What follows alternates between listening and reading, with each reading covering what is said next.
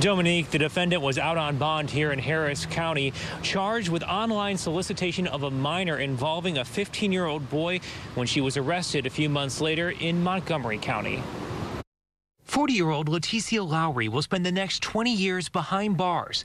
The Montgomery County District Attorney's Office says Lowry was sentenced this week as part of a plea deal where she pled guilty to sexual assault of a child and sexual performance by a child. It prevented the children involved that she victimized and sexually assaulted from having to testify, and I think that's a win all day. Laura Bond is a prosecutor on the case. She manipulated a child um, for her own sexual benefit. Court records say the former teacher and tutor had sex with a 14 year old boy in her home last November. Separately, she was also accused of telling a 13 year old girl to perform a sex act on the boy while she watched. I think oftentimes when people hear about offenses that are committed by a female against a male child, um, people tend to minimize it but the effect on the child is still the same. The prosecutor says Lowry met the two victims through personal relationships and was out on bond in Harris County when she was arrested. I was pleased with her taking responsibility for her actions, um, her taking responsibility and pleading to 20 years in prison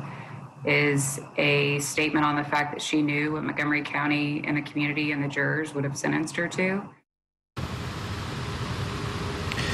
The DA's office says that Lowry has been behind bars in Montgomery County since she was arrested there in November. The two victims in that case are receiving counseling, and the case here in Harris County, which is separate, is still pending.